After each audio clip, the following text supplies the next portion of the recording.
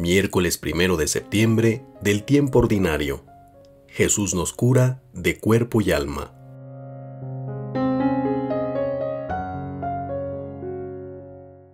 En este día, el Evangelio de Lucas nos presenta la acción benéfica de Jesús a favor de tantos enfermos que le son presentados, incluidos los atormentados por espíritus malévolos. Hoy Jesús se nos presenta como taumaturgo, como el sanador de cuerpo y alma. Escuchemos las lecturas de este día.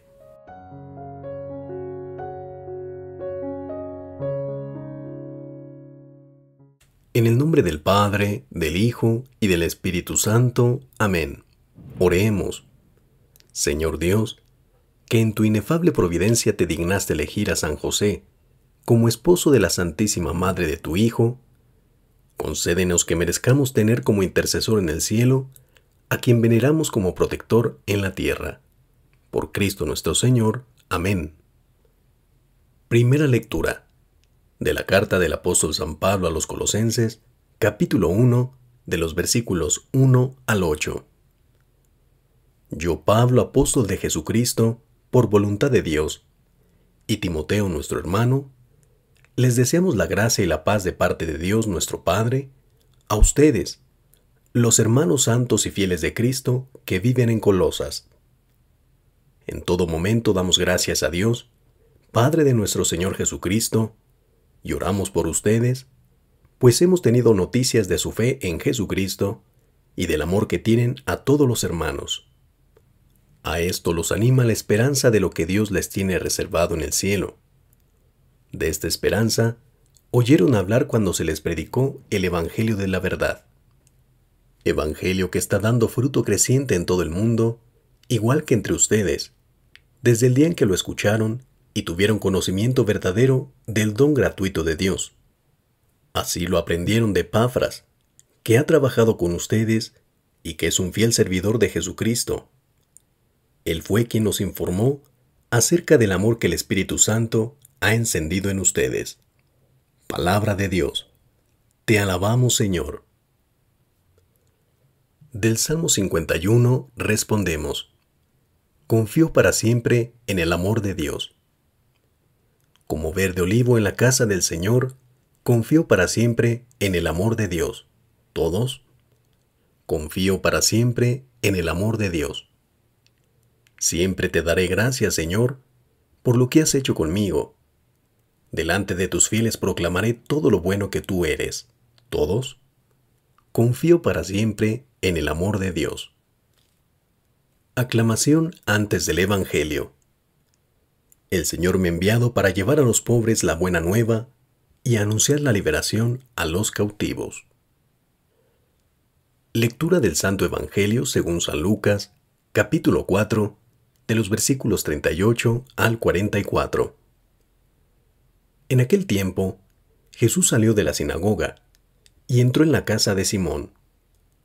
La suegra de Simón estaba con fiebre muy alta y le pidieron a Jesús que hiciera algo por ella. Jesús, de pie junto a ella, mandó con energía la fiebre y la fiebre desapareció. Ella se levantó enseguida y se puso a servirles. Al meterse el sol, todos los que tenían enfermos se los llevaron a Jesús y él, imponiendo las manos sobre cada uno, los fue curando de sus enfermedades. De muchos de ellos salían también demonios que gritaban, Tú eres el Hijo de Dios. Pero él les ordenaba enérgicamente que se callaran, porque sabían que él era el Mesías. Al día siguiente, se fue a un lugar solitario, y la gente lo andaba buscando. Cuando lo encontraron, quisieron retenerlo, para que no se alejara de ellos. Pero él les dijo, También tengo que anunciarles el reino de Dios a las otras ciudades, pues para eso he venido. Y se fue a predicar en las sinagogas de Judea. Palabra del Señor. Gloria a ti, Señor Jesús. Meditación en torno al Evangelio. El primer párrafo del Evangelio de este día marca tres hechos importantes en la experiencia evangélica. El primero es que algunas personas intercedieron ante Jesús por la suegra de Simón. La suegra de Simón, que nosotros conocemos como Pedro, tenía una fiebre tremenda. Lo importante es que el Espíritu de Dios, dado que no duerme y trabaja con intensidad, sanó a la suegra de Simón. El gesto importante que debemos rescatar en este acontecimiento es que la enferma, la suegra de Simón, una vez recuperada, una vez que se sintió bien, se levantó enseguida y se puso a servir a Jesús y a sus acompañantes. ¿Qué mejor manera de agradecer los dones de Dios que revirtiendo el don recibido en servicio? Otro hecho importante en el acontecimiento evangélico es que Jesús no solamente sana a enfermos, sino que expulsa demonios, y son los demonios quien dan reconocimiento de su autoridad como Mesías. Esto es importante, porque si los demonios tienen la capacidad de reconocer a Jesús como aquella autoridad sobre la cual no hay poder, cuanto más nosotros hemos de reconocerlo no solamente como sanador, sino como autoridad y dador de vida. En síntesis, hoy el evangelista Lucas nos presenta a Jesús como taumaturgo, como aquel que sana de cuerpo y alma a los necesitados. Y aún más, lo presenta como aquella autoridad que tiene poder incluso de expulsar demonios.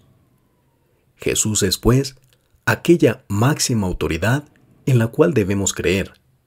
Él tiene la capacidad de someter al mal y Él tiene la capacidad de entregarnos a todos la felicidad plena. Soy el Padre Rafa, recibe mis bendiciones y te espero en la próxima entrega.